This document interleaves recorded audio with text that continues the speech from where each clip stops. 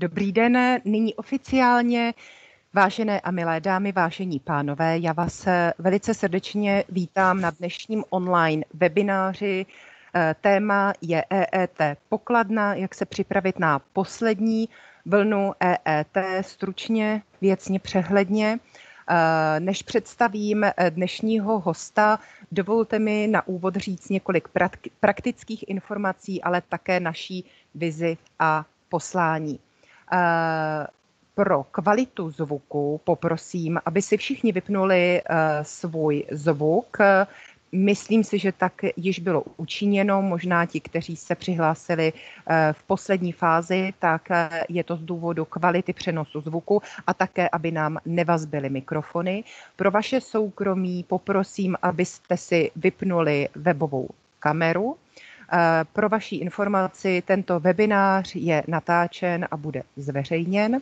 A dále, eh, protože se snažíme opravdu inspirovat a poskytovat důležité, inspirativní, podnětné eh, informace, a nápady, tak kdybyste sami chtěli realizovat takový webinář, tak my využíváme Eh, nástroje Microsoft Office 365. Toto je vlastně součást eh, programu, jmenuje se to Teams a je zde možné dělat takové webináře, rozhovory, videokonference a zajímavá informace je, že v tuto chvíli je 6 měsíců zdarma licence a určitě vám pošleme kontakt na licenčního partnera společnosti Microsoft, společnost Dakvas, která vám v tom může i pomoci. To znamená, měli byste zájem o toto využívat, tak vám pošleme kontakt a tato služba je 6 měsíců e, zdarma. Eh, já poprosím kolegyni, aby jsme se posunuli dál. Eh, s mnohými z vás se znám osobně, eh, s některými z vás zprostředkovaně, a to díky aktivitám, které realizujeme od roku 1997 v rámci tří podnikatelských projektů, a to je ocenění českých podnikatelek, ocenění českých lídrů, českých exportérů, dámského klubu Hellas Ladies Club – kdy se snažíme vlastně eh, lidi, kteří měli vždy pocit, že chtějí jít vlastní cestou, založili své firmy a tak dále, združit na eh, osobní a virtuální platformě, kde si můžeme pomáhat, propojovat se, doporučovat eh, zajímavé příležitosti, ale také zažít něco hezkého, lidského. Budu ráda, když se k nám samozřejmě přidáte, budu ráda, když i v letošním roce který se ukázal zcela výjimečným, protože ty soutěže se posunuly najednou úplně o něco uh, úplně novým směrem a je to o tom, že uh, budeme bojovat za své firmy, za svoji svobodu a máme možnost si vytvořit mikroklima českých firm, kde se můžeme vzájemně podporovat. Uh, nápad vlastně pořádat tyto webináře vznikl okamžitě, kdy byl vyhlášen nouzový stav a nám bylo jisté, že na naprosto neomezenou dobu se třeba nebudeme moc potkávat. A tak vždy, eh, když je něco špatného, tak eh, se snažíme najít něco dobrého a vlastně od té doby v týdenní frekvenci pořádáme webináře, které mají pomoci eh, zprostředkovat informace ke kterým je těžký uh, přístup, anebo uh, nemáte ty odborníky na dosah ruky a to je to, v čem my jsme silní a tady jsem moc ráda, že se nám podařilo zrealizovat už šest webinářů a zároveň i pro potěšení pořádáme večerní talk show. Eh, v tuto chvíli bych ráda představila paní inženýrku Danielu Burianovou, majitelku a zakladatelku společnosti EZOP, účetní a daňová kancelář, Eh, která přišla vlastně s nabídkou zrealizovat eh, právě tento webinář EET pokladna, jak připravit eh, se na poslední vlnu EET a jsme rádi, že vás to zaujalo a že jste tady s námi. V tuto chvíli mi dovolte, abych se odpojila a zároveň předávám slovo paní Burianové, která nazdílí svoji prezentaci. Jinak své otázky můžete psát do chatu a pokusíme se na závěr, případně budete-li mít zájem, pustit i webové kam- kamery, aby to bylo více osobní a zodpovíme vše, co bude potřeba. Děkuji pěkně za pozornost. Eh, paní Burianová, máte slovo. den, vítám vás. Velice si vážím toho, že jste si našli čas v této době. Se mnou se šly základní věci, které jsou spojeny s EET a bohužel i přes EET nepočeno, je pouze odloženo.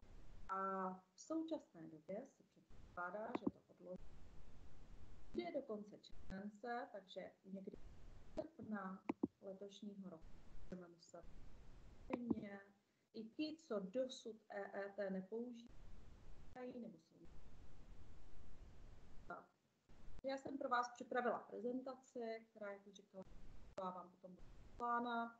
Eh, máte tady na mě kontakt, když jakkoliv dotazy, které vám třeba nebudu uh, odpovědět v průběhu té uh, nebo vás napadnou posléze, tak vám normálně vyhovět. Dotážu se, jestli prezentaci, prosím. Vidíme prezentaci dobře. Já bych možná jenom doporučila uh, dát si slide na jednu stránku a také uh, trošičku si zvýšit uh, zvuk a nebo se přiblížit k obrazovce, aby vás bylo lépe slyšet. Děkuji pěkně. Také děkuji. Na prvním snímku vám uvádím eh, legislativu, která se vztahuje k EET. Vidíte, že zákony z roku 2016 jsou k tomu metodické pokyny a velice dobré podklady k metodice na EET jsou na stránkách finanční zprávy. Máte zde modře vyznačeny, jsou to stránky www.etržby.cz. Takže určitě, pokud budete něco dohledat, podívat. Jak už jsem předeslala, e, někdy do konce července, teď jsme v době, kdy nemusíme řešit EET a to nikdo, že i podnikatele, kteří již v té první a druhé vlně byli povinni evidovat e, na pokladnách, tak teď, pokud pokladny nebudou fungovat, pokud nebudou odesílat své data, tak eh, máme takový generální pardon a nejsme povinni plnit ty povinnosti a nebude to postihováno ze strany úřadu. V dalším snímku mám uvedeny základní kroky, které musí každý, kdo EET spadne, eh, postupně zajistit proto, aby naplnil ty povinnosti. Takže nejdřív si ověříme, jestli máme povinnosti evidovat tržby. Ta povinnost na podnikatele bude obecně. Na neziskové organizace je řada výjimek, kterých si řekneme, a pouze pro podnikatele, kteří jsou ti drobní živnostníci, tak my máme výjimku při dosažení určitého obsahu. Takže to je první krok. V druhém kroku si ověřím, od kdy budu evidovat, takže víme, že to bude srpna. Pokud nouzový stav nebude prodloužen, zvážíme, jestli můžeme evidovat tržby ve zjednodušeném režimu, o tom si také vyzpovíme, pořídíme si nezbytné vybavení pro evidenci, zařídíme si přístup na portál e-tržby a certifikát, to je důležité a to je i hlavní důvod, se vidíme dnes. Paní Burianová, mám prozbičku, a... neposouváte si prezentaci? A mě se posouvá. Aha, tak nám se neposouvá. Zkuste ještě F5. Ano, jsem F5.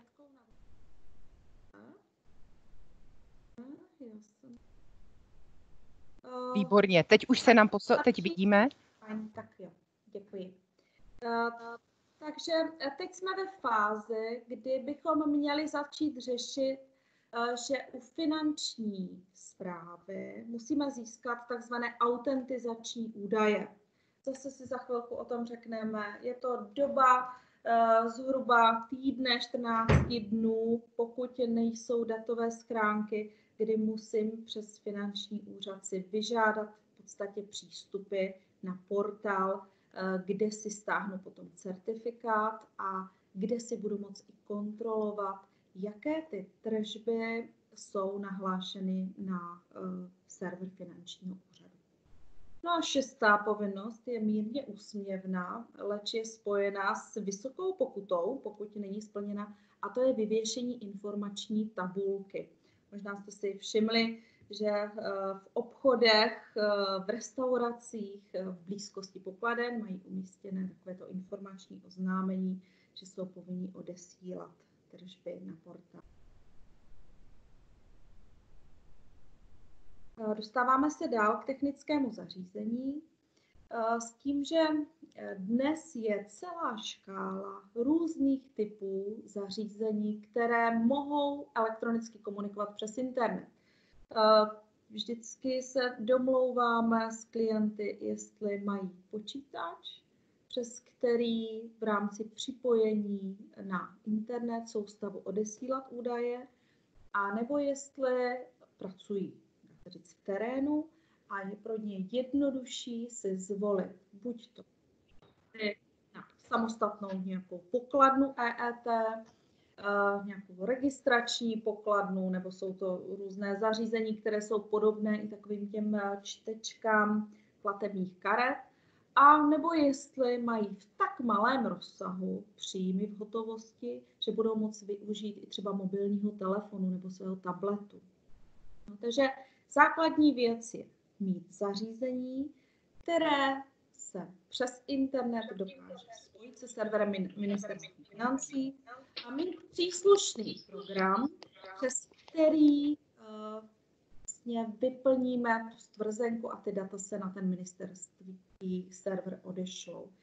Dneska těch programů je zase celá řada, jsou volně stažitelné, Často jsou v softwarech, které používají pro vedení účetnictví firmy.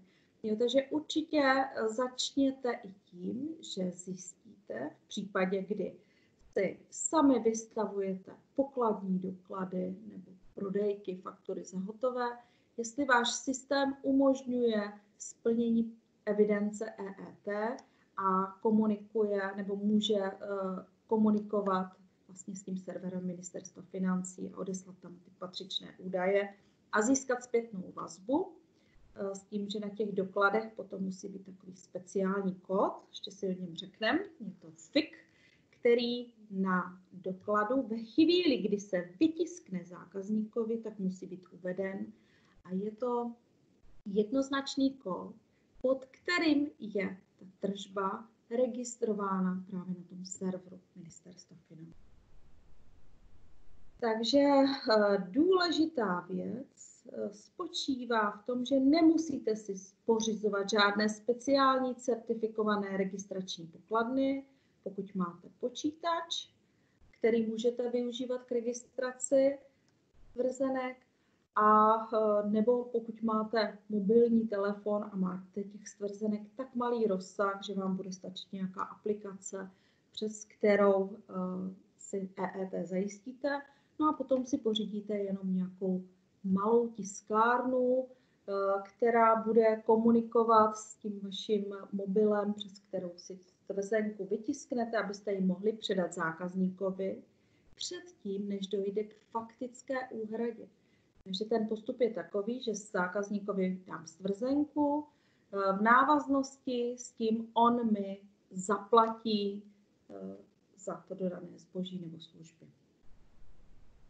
Eh, neplatí u nás povinnost, že bychom si museli ty stvrzenky uchovávat. Ty stvrzenky jsou pro funkci splnění EET, no ale samozřejmě zároveň na těch účtenkách kolikrát jsou i údaje, které jsou důležité pro reklamaci. Jsou tam důležité z titulu zákona.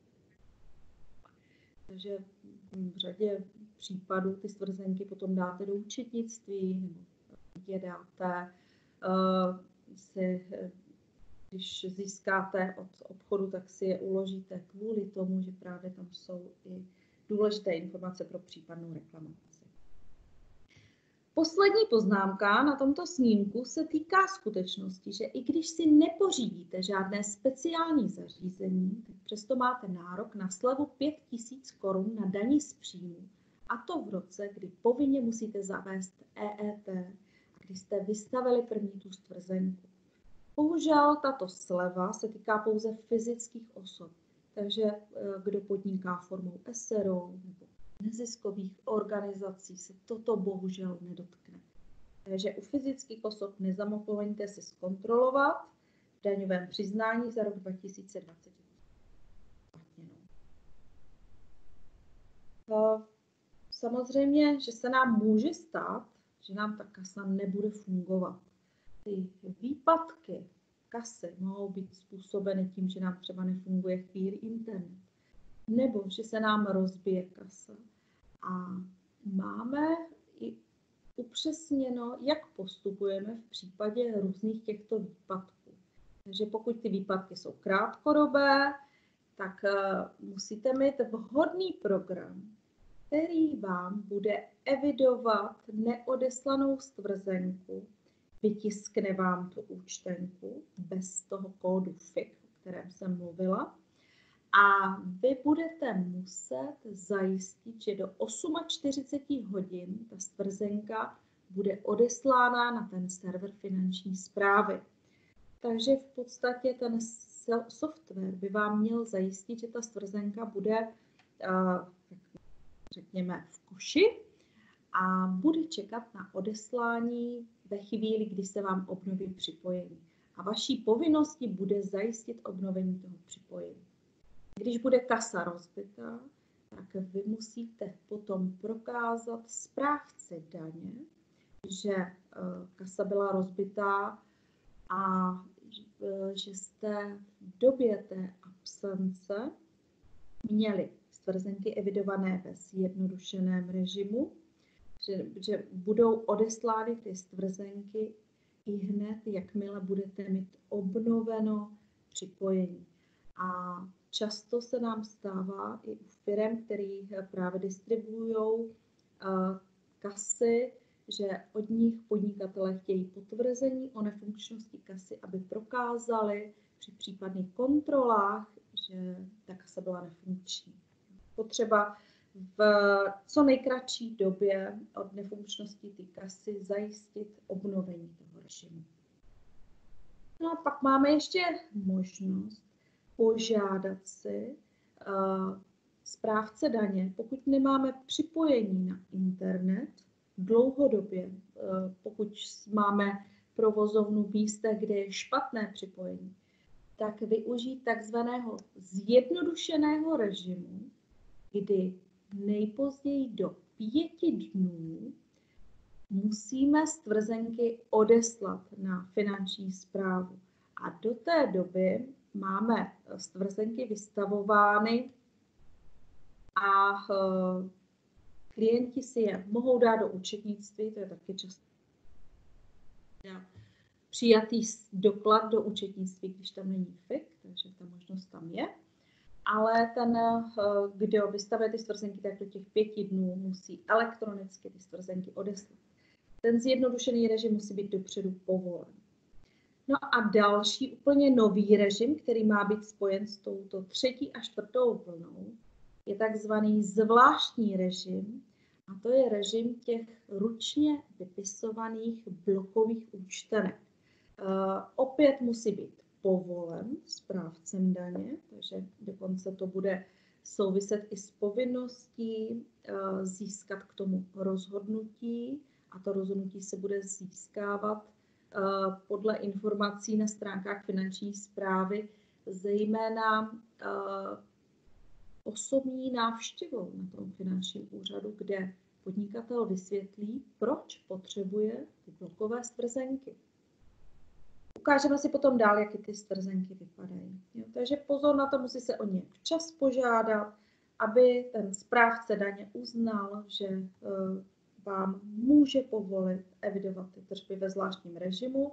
Je tam i potom povinnost splnění uh, určitého maximálního obratu a další podmínky, které si říkají. Velice okrajově vám chci tady uvést, že stvrzenky nemusí dělat EET eh, e úplně každý. Eh, máme eh, řadu subjektů, které jsou z EET vyloučeny, je to zejména stát, územní samozprávní celky, což jsou obce, kraje, jejich příspěvkové organizace, Česká národní banka nebo třeba Česká pošta. Dál jsou vyňaty z EET banky, spořitelní družstva, pojišťovny, penzijní společnosti. Zajímavé je, že to jsou i firmy, které podnikají v energetických odvětví na základě licence udělené podle energetického zákona. A dále firmy, které podnikají na základě povolení krajského úřadu podle zákona o vodovodech a kanalizacích. Takže Uh, jsou i firmy, které třeba vybírají vodné, stočné nebo se jim hradí elektrika a oni nebudou mít povinnost v rámci ER. Když podnikatel zahájí svou činnost, tak do doby, než bude mít přiděleny ty autentizační údaje, tak nemusí vést tu evidenci. Ovšem je tady uh, ta povinnost samozřejmě včas a řádně si plnit své povinnosti toho přihlášení a do deseti dnů od předělení DIČ nemusí být registrována stvrzenka. Potom, když zaměstnanci budou platit svému zaměstnavateli třeba úhrady za stravování, za uh, rekreaci, uh, přispívají uh, na doplatky třeba ze sociálních fondů, co hradí zaměstnavateli, tak když to je nad stanovenou úroveň, nebo když se zaměstnancům prodává majetek, tak tyto tržby nepodléhají EET. Zrovna tak jsou vyjmuty u školských zařízení, které nenaplní ten princip příspěvkové organizace, povinnost vyslovovat stvrzenky EET na stravování a ubytování, na jízdné, Tučně jsem vám tady vyznačila, že se nemusí evidovat stvrzenky z drobné vedlejší podnikatelské činnosti veřejně prospěšných poplatníků. To je velice důležitá výjimka, díky které řada spolků, různých těch OPS, ústavů je prakticky z EET eh, vyloučena závodnímu stravování už jsem říkala, že stvrzenky nemusí dávat zaměstnavatel do EET. Tady jsem vám uvedla u těch neziskovek eh, limit na vedlejší hospodářskou činnost, to jsou různé ty příjmy eh, z hostinské činnosti nebo z drobného prodeje zboží, kdy když jsou eh, do hodnoty 5 celkových příjmů, 300 tisíc korun, tak nepodléhají EET. Dál, když je eh, podnikatel, který bude mít příjmy ze závislé činnosti, to je ze zaměstnání, tak eh, ty své příjmy ze zaměstnání samozřejmě nehlásí do EET.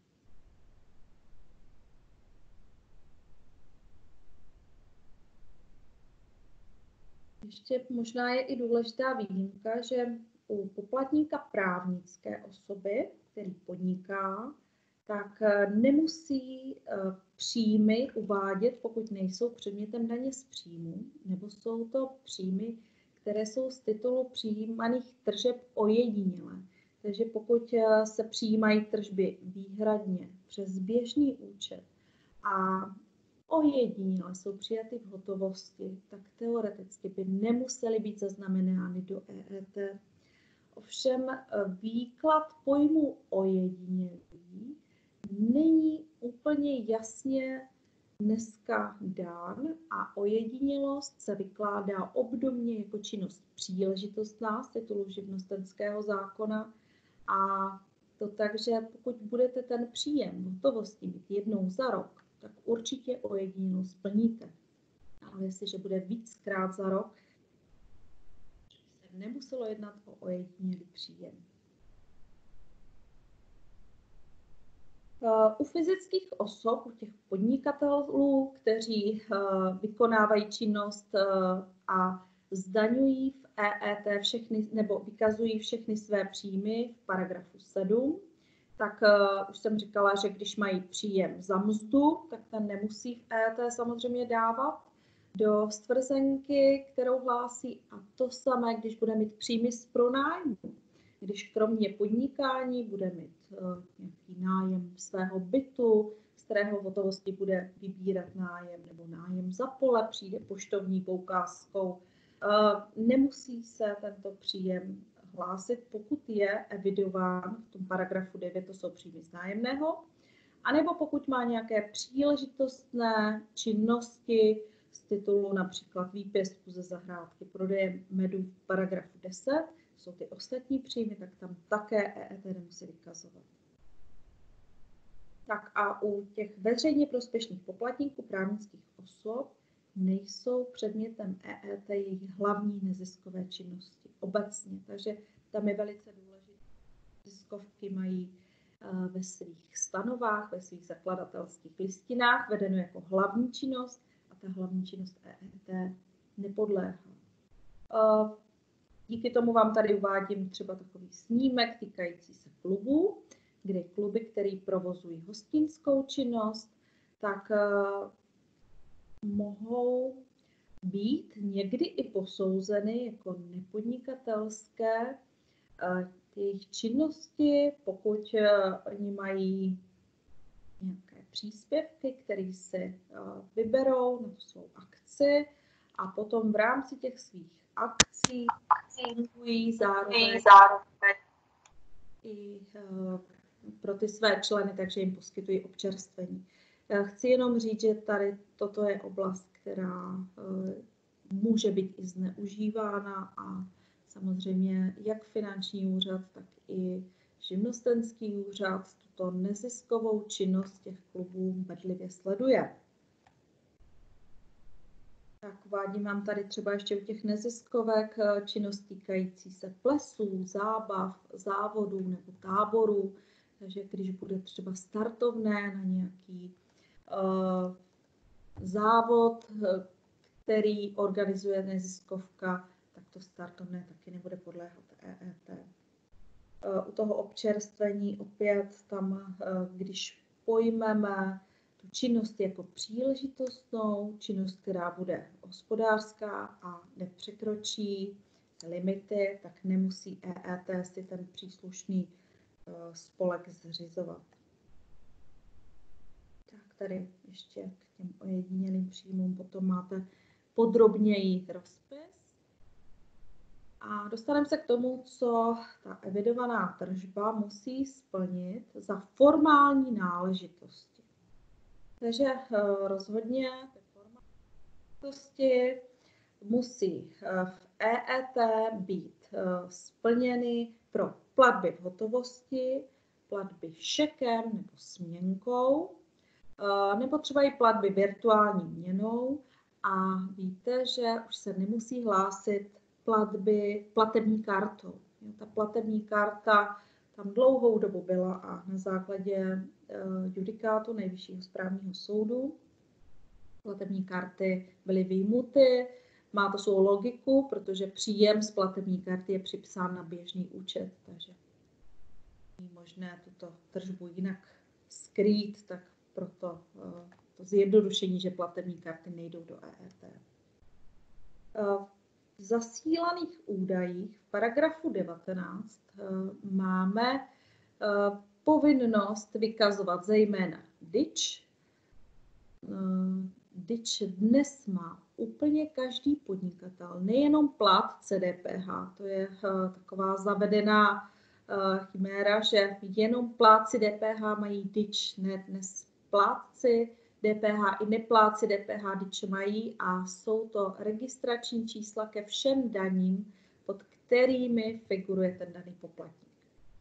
Musí být na dokladu uvedena provozovna, kde se tržba uskutečnila, označení pokladního zařízení, stvrzenka musí mít své pořadové číslo, musí tam být datum a čas přijetí platby, celková částka tržby, takzvaný BKP kód, to je bezpečnostní kód poplatníka, podpisový kód poplatníka a údaj, jestli je tržba evidována v tom běžném nebo zjednodušeném režimu. Ten běžný režim to je ten online a zjednodušený režim je ten, kterým do pěti dnů ten podnikatel musí odeslat stvrzenky na finanční zprávu. Dál vám tady uvádím, že u plátců DPH je ještě povinné uvést uh, sazbu DPH a ten finanční úřad toto často si vyhodnocuje i ve vazbě na přiznání k DPH. Chci upozornit, že často eh, při zavedení kasy eh, nějakou odbornou firmou i neplácům DPH, ta odborná firma tam nastaví sazbu DPH a řešíme pak často problémy, že finanční zpráva upozorní klienta, že má rozpis DPH na stvrzence a přitom plátce DPH není.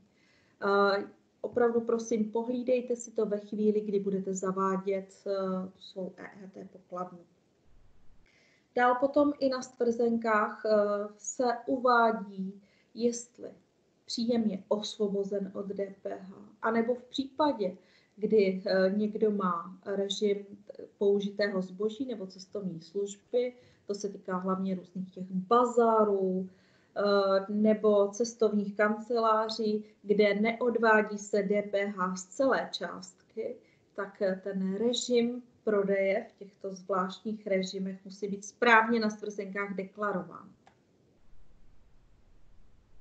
Tak na stvrzenku po eh, získání vlastně toho FIKu, toho fiskálního identifikačního kódu, je povinnost ten kód tam doplnit aby stvrzenka ve chvíli, kdy se tiskne, tak obsahovala právě tento fik.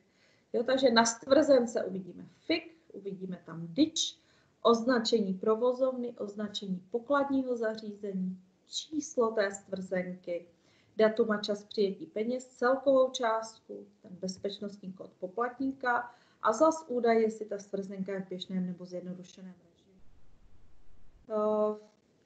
Může se vám ještě stát, že využíváte různých eh, kreditů, systémů takových těch dárkových poukazů a tam opět je potřeba v případě jejich využití eh, si řádně nastudovat, jestli se to považuje za plnění, které jsou určeny k následnému čerpání a na těch stvrzenkách musí být speciální kód, který se dostane na ten server ministerstva financí. A ve chvíli, kdy se čerpají ty nabité kredity, tak eh, musí opět na té stvrzence být údaj o následném čerpání. Tady mám pro vás vzor účtenky. Nevím, jestli to bude dostatečně patrné. Já se pokusím to takto zvětšit, jestli se vám to ukáže větším rozlišení. Na těch stvrzenkách tady je vidět, že tam je ta provozovna, dyč, pořadové číslo účtenky.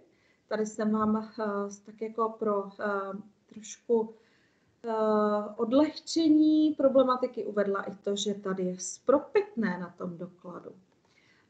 Jestli jste zaznamenali v médiích nebo přes sociální sítě takové ty vtipné poznámky o tom, že v restauraci číšník, než vám vystaví stvrzenku, tak by se vás měl zeptat, jaké mu dáte spropitné, aby to spropitné zahrnul do celkového dokladu, který vám dá. Takže a nakonec ta situace je taková, že když to spropitné vy řeknete tomu čišníkovi vlastně takto předem, on nám to vystaví stvrzenku, tak to spropitné zůstává firmě. Když to, když to spropitné vydáte na rámec té stvrzenky v podstatě, tak zůstává tomu zaměstnanci. Ten zaměstnanec správně by to měl mít ještě potom zohledněno v rámci své závislé činnosti. U tržby té dolní části tady je mm, údaj o tom, jestli tržba je evidovaná v běžném režimu anebo v tom zjednodušeném režimu, v tom offline. Jo? Takže někde i se používá terminologie online režimu a v offline režimu. Je tam FIK a je tam BKP eh, té eh, pokladny. Tak. Eh, dál mám tady pro vás snímek, který se týká těch voucherů, různých těch kreditů, jak jsem o tom mluvila, já v rámci nějakého eh, časového fondu na tento webinář to s dovolením eh, přeskočím, pokud budete mít eh, potřebu řešit eh, toto blíže, tak pak poprosím individuálně. Platba poštovní poukázkou je vyhodnocena jako platba v hotovosti, pokud vám pošta přinese peníze za dobírku. To i vedlo k situaci, kdy řada podnikatelů si u pošty zřídila možnost nebo si zajistila, že peníze z dobírek jsou posílány na běžný účet. Je to po zavedení varianta, kterou si podnikatelé chválí, protože i mají daleko lepší důkazní prostředky potom pro poštu v případě, kdy nějaká dobírka není připsána a poštou byla zinkasována. Eh, další potom eh, platby kartou jsou třeba platby CCS kartou nebo na fakturu, připsání na hotelový účet. Platí tady princip, že když je platba CCS kartou, tak vy nemáte žádnou hotovostní transakci, takže do EET není co zasílat. Když je platba na otevřený hotelový účet, tak až ve chvíli, kdy na recepci, ta recepční s vámi dělá celkové vyúčtování a dohodnete se, jestli budete platit hotově nebo kartou, tak podle toho se posoudí, jestli ta stvrzenka uh, půjde do EET nebo ne.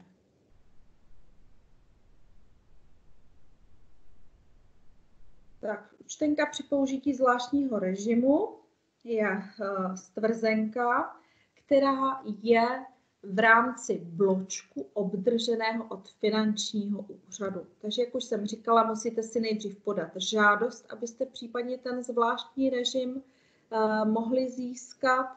Uh, ty stvrzenky jsou v bločku, který má obal a uvnitř má dva vlastně vždycky dvě paré té jedné účtenky. Každý bloček má 100 účtenek a my jsme povinni postupně ty účtenky vypisovat. Eh, v případě, kdy dojde k nějakému zničení té účtenky, tak tu účtenku si musíme schovat, abychom byli stavu prokázat potom tomu správci daně, že nebyla vystavena. Eh, Uvedla jsem vám tady i podmínky, kdy si můžete o povolení toho zvláštního režimu požádat. Je to v případě, kdy uh, váš obrat je za bezprostředně čtyři předcházející kalendářní čtvrtletí, to znamená v podstatě rok, do 600 tisíc korun. Eh, a předpoklad dalších tržeb ve 12 měsících v úhrnu nesmí přesáhnout 600 tisíc korun. Máte maximálně dva zaměstnance a eh, výjimku potom mají ještě eh, zdravotní služby, kdy oni nemusí být v těch dalších kritériích, nemusí je dodržet tak tady vám uvádím nějaké důkazní prostředky, které jsou, ehm, které finanční úřad po vás bude chtít, buď to v rámci toho ústního jednání, anebo eh, na stránkách eh, finanční zprávy, nebo i potom, kdybyste chtěli, tak eh, mohla bych to buď to zaslat přes OCP, nebo vám to zašlu individuálně, když budete chtít je na to takový doporučený formulář na vyplnění té žádosti. A na základě té žádosti ten finanční úřad rozhodne a při tom vydání rozhodnutí zároveň z pravidla vydá i stvrzenky v počtu, který by eh, odpovídaly zhruba 12 měsícům a ty bločky musíte mít odděleně pro jednotlivé provozovny. Tady takhle je vzor jedné z těch účtenek, takže tady je patrné, jaká to je série. Jsou to prostě stvrzenky, které jsou individuálně určeny. Vyplní se tady e, název obchodní firmy, nebo se tam dá zpravidla razítko. Musí se tady uvést právě to číslo provozovny, tady ten druh zboží nebo služby, datum a čas jsou povinný a celková částka. Když se něco na stvrzence opravuje, tak vidíte vpravo dole takový obdélníček, opravil, storno provedl a datum. Zase na stránkách té finanční zprávy eh, poměrně přehledně v té metodice je uvedeno, jak se ty stvrzenky mají opravovat.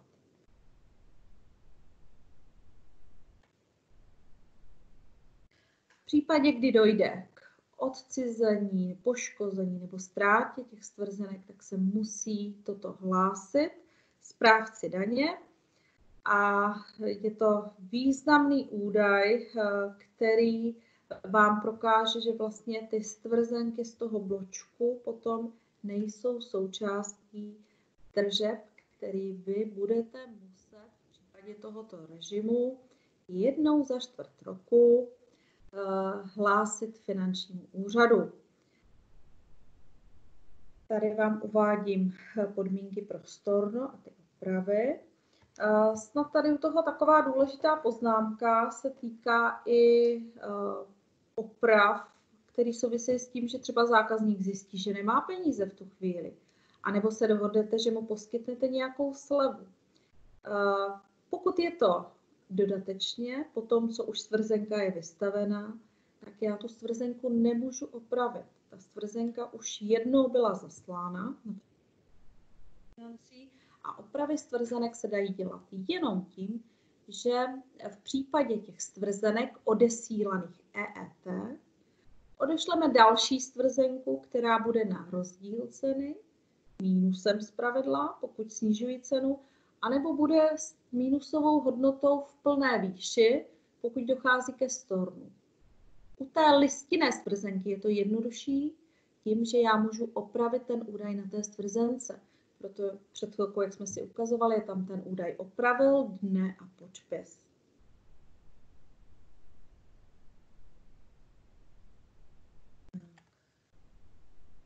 Když jsem vám eh, chtěla znázornit, eh, probíhá ten koloběh při poskytování informací na server Ministerstva financí a jak běží přes tu finanční zprávu, ta informace o té stvrzenice a dostává se na účtenku s kódem, kterou si odnese zákazník.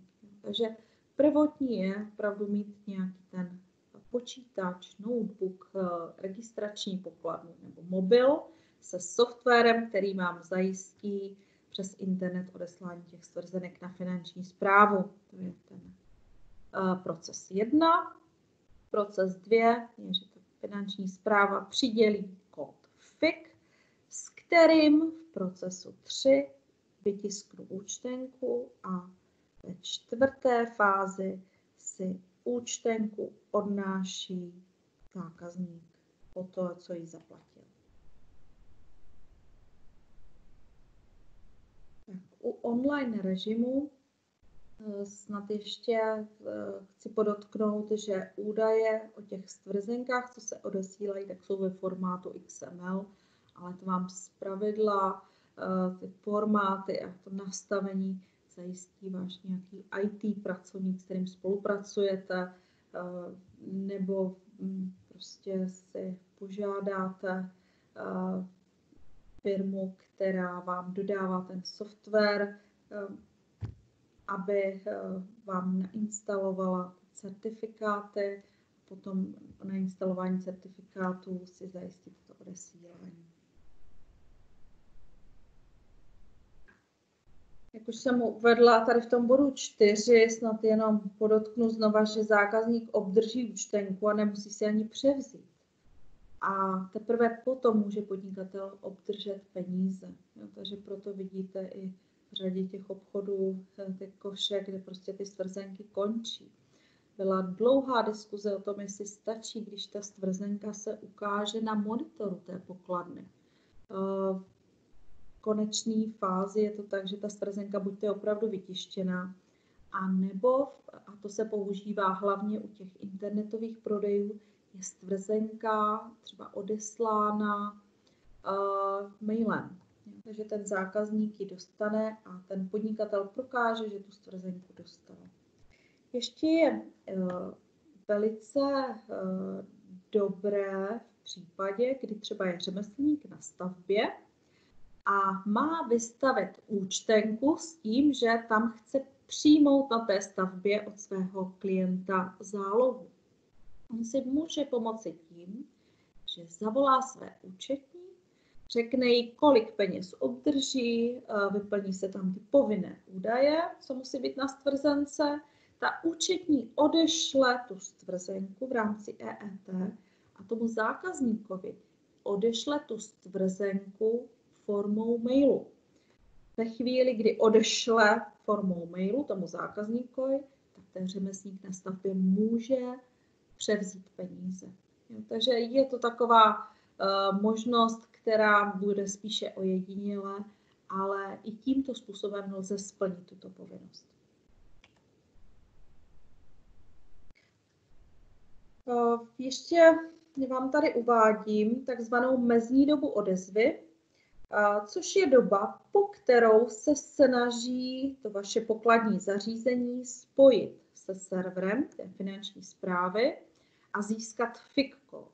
Je povinnost těch pokladních zařízení, aby minimálně dvě sekundy se pokoušeli připojit. Když se jim to nepodaří do doby dvou sekund, vystaví ten doklad bez toho FICu. Uvede se tam údaj o tom, že je to offline režimu a, jak už jsem říkala, musí podnikatel zajistit, že do 48 hodin ta stvrzenka bude odeslána na ten server finanční zprávy.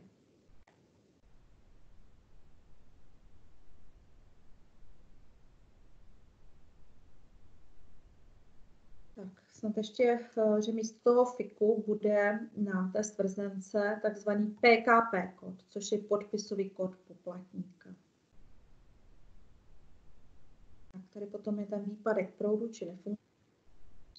Já už jsem o tom říkala. Na úvod je pak vhodné, když třeba eh, mají ty podnikatele nějaký sešit, do kterého si zapisují, eh, od kdy do kdy ta pokladna nešla a z jakého důvodu. Může se stát, že třeba nejde prout, eh, může se stát, že vám nefunguje ta kasa, že nefunguje internet, takže Prosím, zaznamenávejte si to pro případnou průkaznost při kontrolách.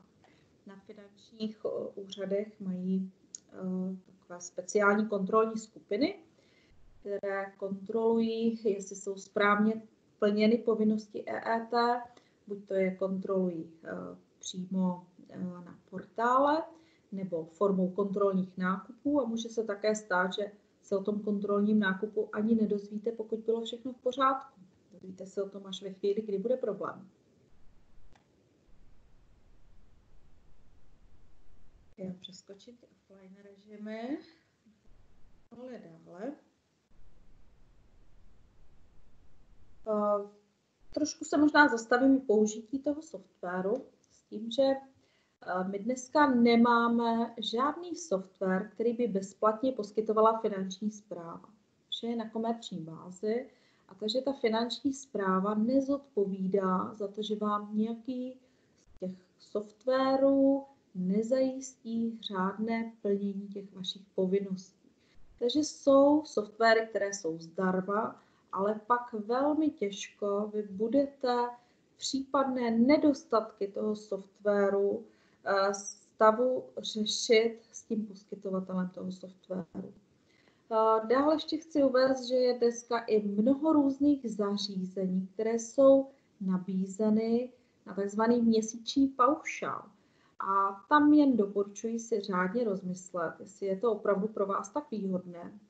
A i ve vztahu k té první, druhé vlně, kdy začaly tyto různé měsíční paušály od společností, s kterými se komunikovalo z pravidla přes eh, maily, přes um, nějakou tu vzdálenou zprávu a oni poskytli to zařízení, tak často se pak stal problém, když došlo k nefunkčnosti toho zařízení. Že jste neměli tu osobu, která přijde, vezme to zařízení do ruky a řekne, no jo, je to jednoduchý, jenom funguje eh, to špatně, protože je tam přerušen nějaký kontakt nebo prostě to zařízení je potřeba vyměnit nebo v tom softwaru se musí provést nějaká úprava. Takže osvědčilo se mít fyzickou osobu, kterou znáte, s kterou jste stavu komunikovat ty vaše problémy a u těch kas vám může přijít a dát vám tu kasu do pořádku. Eh, posledním odstavci vám tady uvádím, že když dojde k přerušení činnosti provozovny nebo dlouhodobě přerušíte činnost, tak byste měli to na tom serveru Ministerstva financí oznámit. Takže se přihlašujeme v rámci toho, že získáme ty autentizační údaje, to jsou eh, v podstatě přístupové kódy. Je to obdoba, jako když máme přístupové kódy do datovky, tak máme přístupové kódy do EET. Do toho EET se přihlašujeme na portále www.daněelektronicky.cz. Je tam samostatná záložka EET a právě pro uh, registrované uživatele po zadání těch kódů si tam získáte certifikát, který se nahraje do těch pokladen, do těch počítačů a zároveň si tam zadáte i provozovny. Ty provozovny buď to jsou mobilní, nebo jsou to kamenné stále provozovny, a nebo to můžou být i virtuální provozovny.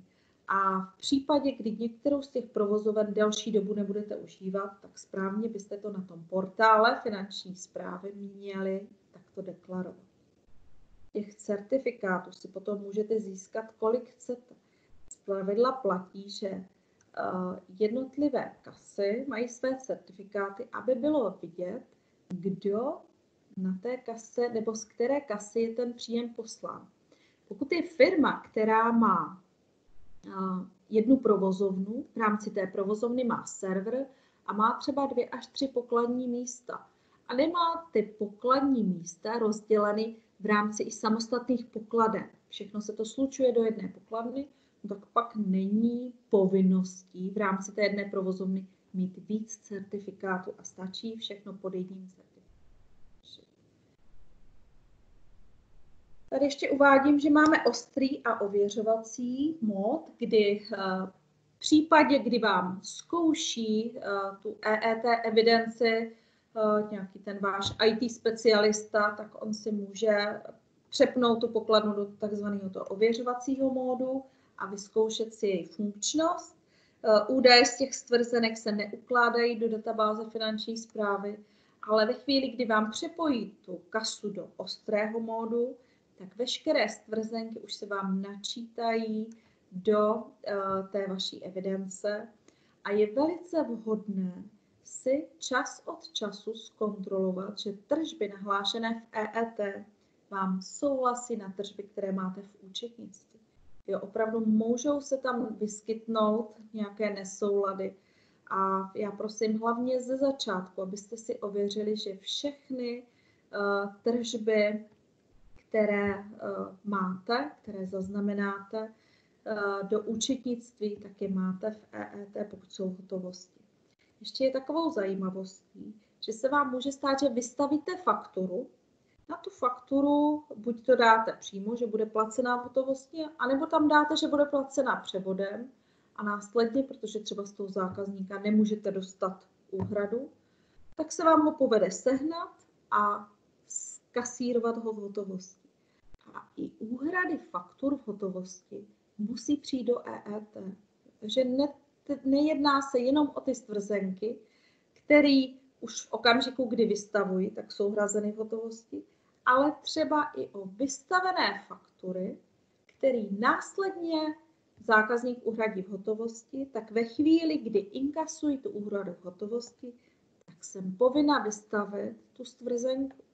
A to jsou pak údaje, kdy v podvojném účetnictví nám nekorespondují tržby ve formě výnosů na údaje, které jsou právě v tom EET, protože v tom EET je to eh, v podstatě se spožděním. Je to tam až když mám úhradu té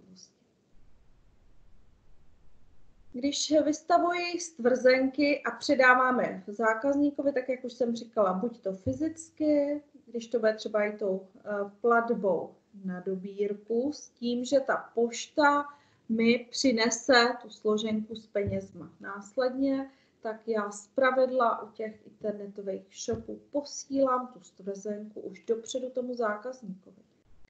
To samé v případě, kdy je třeba prodej kamelotu, kdy prodávají noviny, ty noviny jsou za jednu cenu, tak aby nemuseli ke každém prodané vlastně hodnotě samostatně vystavovat ty stvrzenky, tak dokonce máme možnost, že ty stvrzenky se dají vystavit i dopředu. On, ten kamelot rozdá ty účtenky v návaznosti na to, jak přijímá peníze. No a když se potom odpoledne vrátí, přinese zbytek těch účtenek, za který nedostal peníze, tak se na to udělají ty storno účtenky, to jsou ty mínusové účtenky do EET další. Tato možnost tam je, i když moc se nevyužívá, je nevhodné, když jsou stvrzenky uh, vystaveny týden před tím, než se fakticky inkasují peníze. Nepůsobí to důvěryhodně ani vůči těm zákazníkům. Ale je poměrně běžné, a to je hlavně u těch rozvážkových služeb, třeba když dodávají firmy obědy, že uh, buď to ráno, nebo ještě den uh, předem mu vystaví ta účetní k tomu faktury za hotové. On ráno vezme zboží, vezme ty faktury za hotové už s tím fikem z předchozího dne a ve chvíli, kdy přijme peníze od těch zákazníků, tak jim předá tuto stvrzenku, no a když se mu nepovede toho zákazníka dá se říct kasírovat, tak přiveze ty stvrzenky zpátky té účetní a ta opět udělá ty minusové stvrzenky. Tak s propitném už jsem úhrady v cizích měnách. V EET vždycky zaznamenáváme v korunách, takže je potřeba, aby ten příslušný software nám zajistil přepočet na české koruny a to kurzem, který je v tom daném okamžiku, takže v tom daném dni. Může se stát, že přijmeme kauci od našeho zákazníka, třeba při půjčování sportovního vybavení, Kauce není předmětem EET. Eh, e Ovšem opozitum toho je záloha. Jakmile mám zálohu, tak záloha do EET jde a na stvrzence, kterou získá z eh, údají eh, ten server finanční zprávy, tak není rozdíl mezi tím, jestli to je záloha nebo jestli to je vyúčtování. Takže pozor, tam je problematické potom když budete řešit, jestli to je záloha nebo to je doplatek, tak podle EET to nepoznáte.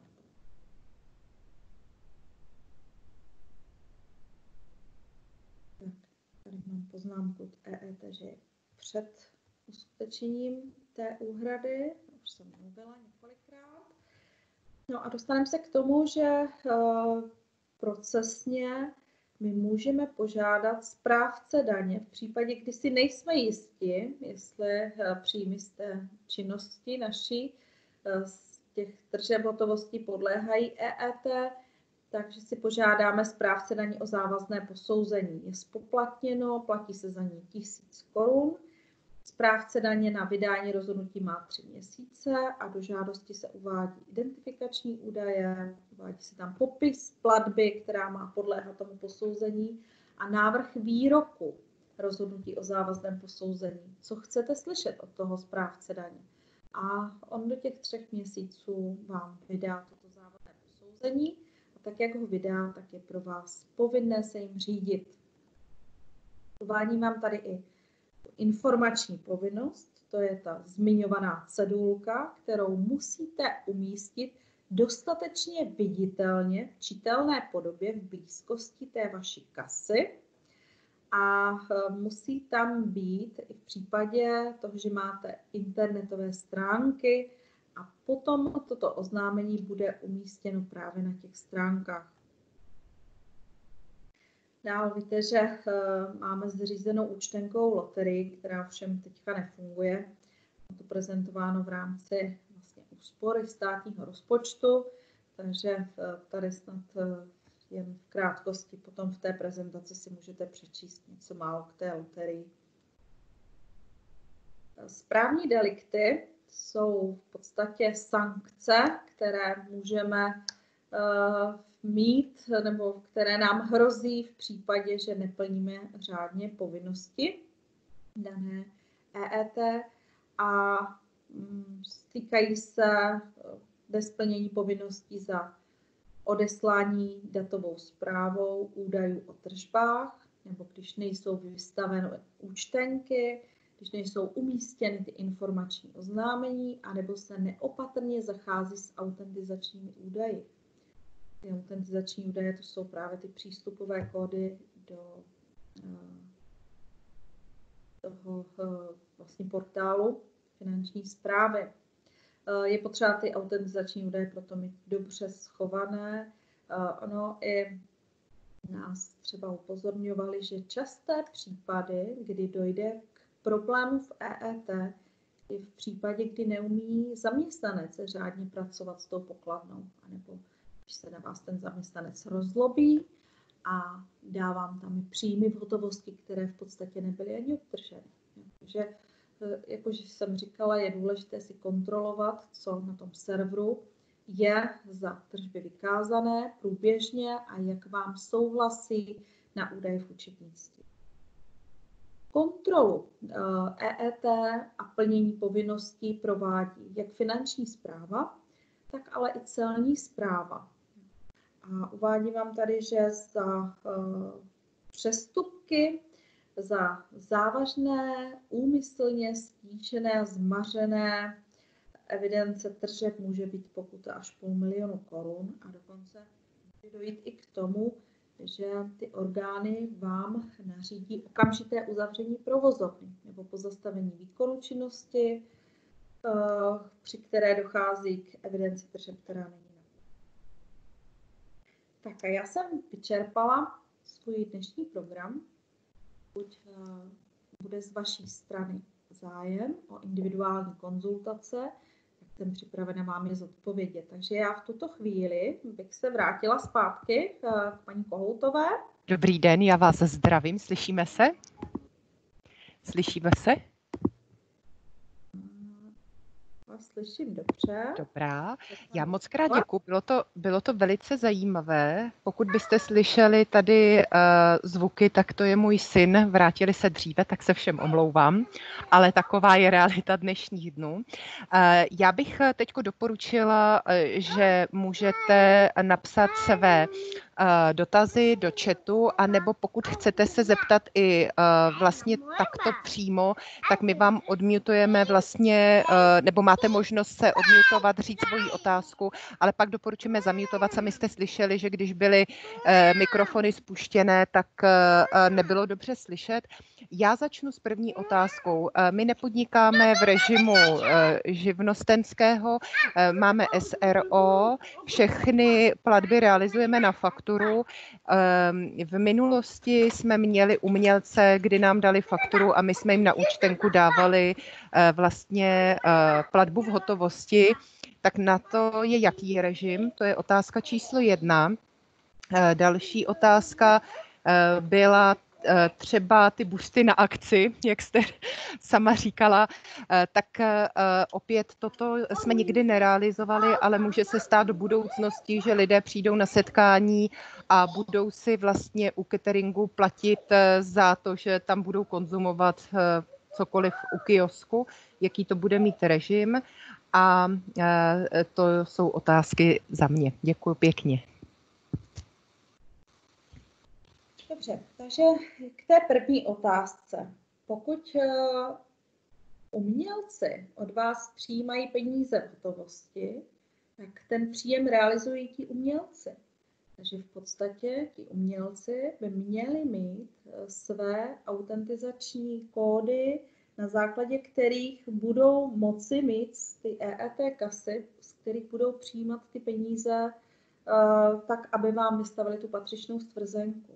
Takže eh, odlišná situace bude v případě, kdy ty umělci vám budou účtovat za uh, svůj honorář prostřednictvím neziskovek. Jo, pokud to bude nějaký spolek nebo to bude nějaká OPSK a uh, oni budou v rámci své hlavní činnosti realizovat vlastně nějakou tu produkci, kterou vám budou účtovat, tak uh, potom EET svrzenky mít nemusí, ale pokud to bude jejich čistě hospodářská činnost, která převýší ty limity, jak jsem říkala, anebo pokud to budou umělci, fyzické osoby, jejichž příjmy za tu uměleckou činnost eh, se rozumí jako příjmy z paragrafu 7, příjmy z podnikání, tak eh, vám budou muset tu stvrzenku dát, pokud nebudou stavu si prokázat, že to jsou ty ojedinělé příjmy. Takže si myslím, že řada těch umělců začne volit také tu formu eh, připisování na běžný účet, a nebo mohou potom si při tom malém rozsahu požádat právě o ty bločky těch stvrzenek, na finanční správě a budou vypisovat ty účtenky. Eh, Děkuji moc krát. To znamená, my si ve firmě musíme dát pozor na to, jakou formou, eh, aby nám dávali vlastně správné, správné bločky, protože ani my bychom neměli akceptovat eh, vlastně ten původní starý styl příjmových výdajových dokladů. Je to tak? Já děkuji za tento výborný dotaz. Já se s ním setkávám poměrně často. Už teďka v té první a druhé vlně, totiž když obchody dávají stvrzenky z toho EET, tak, tak jak jsem vám říkala, jak tam je strašně málo údajů, eh, které jsou povinni eh, v podstatě zaznamenávat eh, z té hodnoty těch služeb. Oni nemusí rozepisovat jednotkové ceny, počet jednotek, takže ani ta finanční zpráva nezjistí, za co ta stvrzenka je.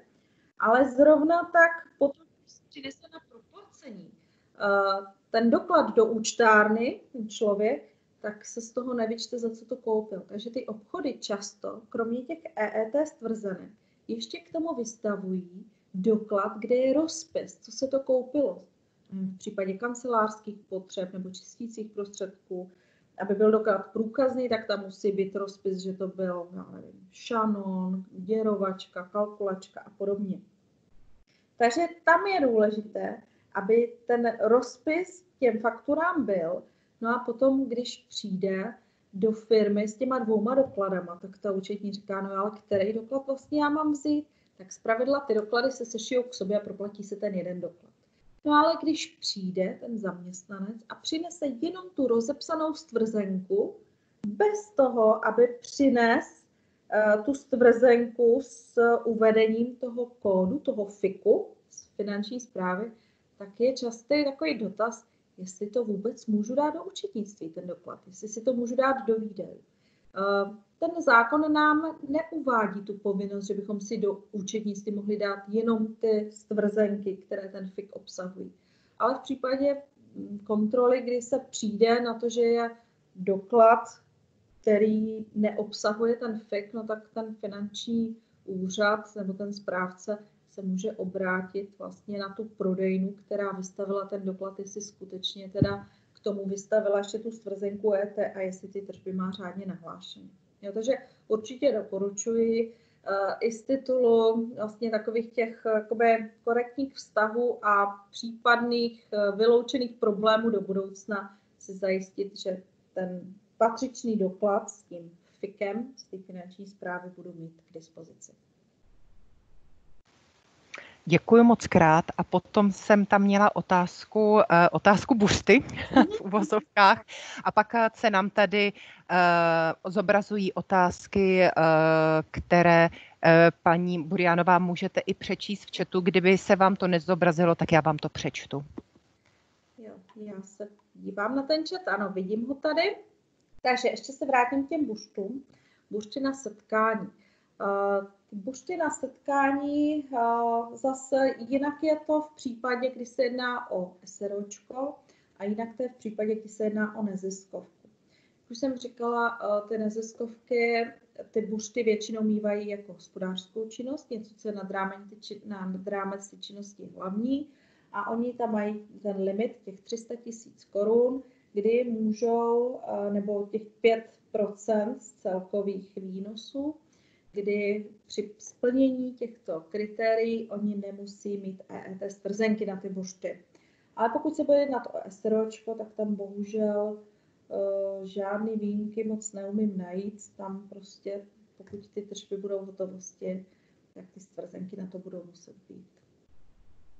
Uh, my jsme měli uh, teď vlastně v rámci té první a druhé vlny výjimku na takové ty stánkové prodeje, kdy se uh, ujednotila praxe, že pokud je stánek, který nezajišťuje uh, doplňkové nebo takové ty běžné služby, které jsou spojeny s restauračním provozem, což je uh, třeba podávání příboru, mytí nádobí, poskytnutí toalety nebo poskytnutí stolů, židlí, kde je možné konzumovat to občerstvení.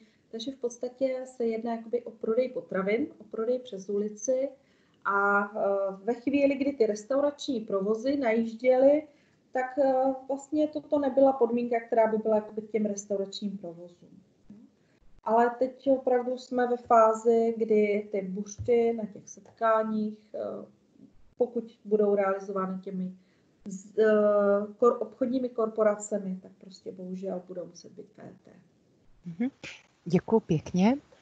A, takže můžeme přistoupit teď k otázkám účastníkům.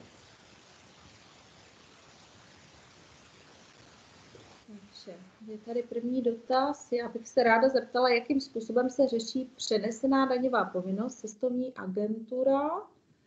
Eh, zálohu za objednanou dovolenou převezmu od klienta v hotovosti a následně ji v plné výši bezhotovostně posílám pořadatelské cestovní kanceláři.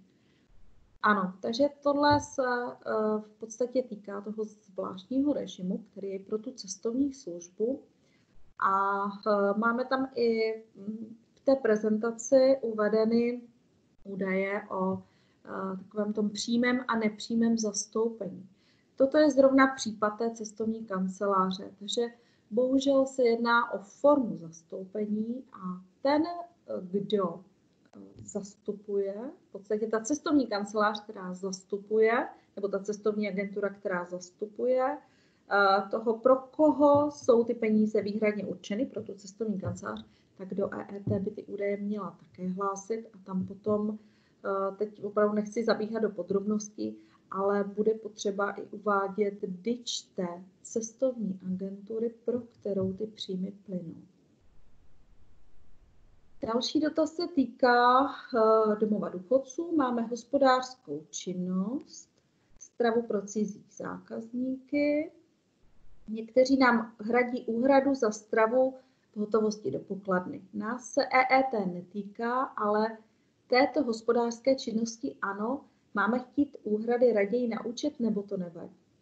Tak obrovská výhoda domovu důchodců je v případě, kdy má charakter příspěvkové organizace. Příspěvkové organizace, stejně jako města, obce a různé ty jiné státní organizace, jsou globálně vyňaty z EET. Takže ani v případě, kdy mají rozsáhlou tu hospodářskou činnost, tak ty své doklady do EET nedávají. Jediná výjimka, která by byla, kdyby právě obdobně jako u té cestovní kanceláře poskytovali nějaké zastoupení pro jiný subjekt. Jo, takže uh, teď jedině u toho stravování napadá, uh, když by třeba firmou, která poskytuje stravování v tom domově důchodců byl jiný subjekt, jako jsou systémy různých těch Eurestů a podobně. A jejich jménem nebo v jejich prospěch by ten domov důchodců vybíral eh, peníze, tak pak by to EET bylo na místě. To je třeba i důvod, proč v řadě těch informačních center se zrušily takové ty komisní prodeje. Komisní prodej je totiž typická situace, kdy prodávám zboží jinému subjektu, No a potom, co až se prodá, tak jsme domluveni, že se mu vyplatí ty peníze za prodané publikace, za prodané zboží. A právě tenhle ten komisní prodej se uvádí do tržeb eh, toho, kdo přijímá peníze, i když v podstatě jsou ve prospěch jiného subjektu. Jo, takže to je obdoba té cestovky, tam je problém, takže příspěvkové organizace hlavně nesmí mít různé ty komisní prodeje, nesmí mít uzavřený komisionářské smlouvy a pak standardně, když toto nemají, tak oni jsou z titulu EET výjimuty. Tak, ještě tady mám doplňující dotaz od paní Dokoupilové ohledně té cestovní agentury. Ještě doplním. Klientům vydávám příjmový pokladní doklad. tak eh, když vydám příjmový pokladní doklad, tak bohužel ten příjmový pokladní doklad musí splňovat náležitosti EET. Takže možnosti zase jsou dvě.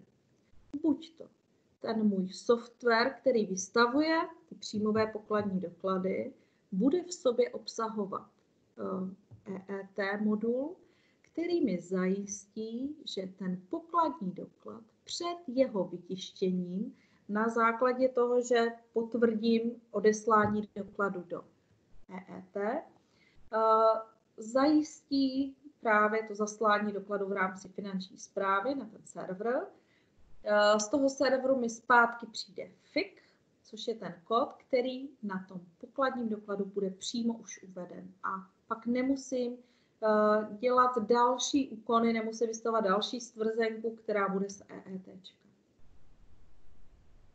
Paní Skalická uvádí, zvláštní režim pro poskytovatele zdravotních služeb je podmíněn ročním příjmem 600 tisíc korun nebo má jiná pravidla. Uh, teď uh, prosím vás, neberte to úplně za dogma, ale ty zdravotnické služby jsou tam uvedeny právě takto samostatně, protože oni tu povinnost těch 600 tisíc korun tam nemají. Myslela jsem a moc děkuji za zodpovězení a ujištění správnosti. Ano, také děkuji. Prosím o informaci při postupu, pokud u registrace na konferenci vybíráme od účastníků platbu na místě a je částečně v hotovosti a částečně platební kartou. Například registrační poplatek hradí v hotovosti, ale oběd a ubytování hradí platební kartou. No, takže eh, do EET by měla jít jen ta částečná úhrada. V podstatě jen ten doklad, na základě kterého přijímáte platbu v hotovosti. A zase i u těch konferencí se opravdu často setkávám s tím, že ty konference, zejména pokud jsou mimo sídlo firmy, která tu konferenci zajišťuje, že už dopředu mají ty uh, pokladní doklady uh, přetištěné, takže jsou třeba i s datem toho předchozího dne. A největším problémem pak ale bývá, když eh, dodatečně na tom místě si chce někdo doobjednat nebo přijde další účastník, který jste tu stvrzenku, tak lze to asi vyřešit tím, že se zavolá do sídla firmy, kde vystaví tu stvrzenku a toho zákazníkovi buď to se pošle mailem, a nebo prostě na recepci toho zařízení se vytiskne a předá se zákazník.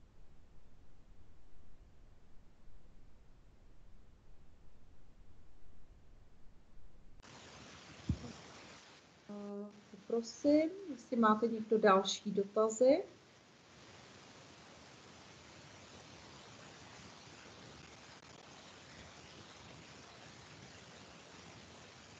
Tady další dotazy nevidím. Já tak.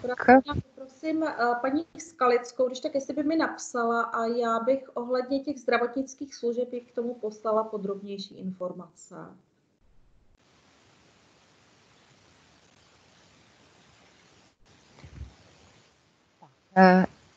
Vážená paní Burianová, já děkuji za nesmírně uh, zajímavý a profesionální webinář, eh, za vaše informace a také za vaše odpovědi na otázky. Určitě všichni dostanete kontakt na paní Burianovou, můžete jí kontaktovat i napřímo už s těmi individuálními Eh, důvěrnými otázkami, na které byste se potřebovali zeptat. Eh, já bych ráda řekla, že příští týden pořádáme v úterý 5. května od 8 hodin eh, další část našich talk show podvečerní rozhovory s Helenou. Estetická medicína se stala mým životním posláním, kde hostem bude paní doktorka Hana Raková, spoluzakladatelka oboru laserové a estetické dermatologie v Česku a také kliniky ST Laser Clinic Eh, která 20 let eh, vede a specializuje se na různé zákroky. Myslím si, že to bude velmi zajímavé. A 12. května eh, se můžete těšit na další webinář. Téma bude osobní komunikace je nejlepší, ale jak na to, když to nejde, jak jsme zvyklí ve spolupráci se společností Vodafone. Takže eh, máme pro vás připravený bohatý program. V tuto chvíli bych vám všem chtěla popřát eh, zejména zdraví, eh, odolného ducha, klidnou mysl a samozřejmě hezký den. Naschledanou. Naschledanou.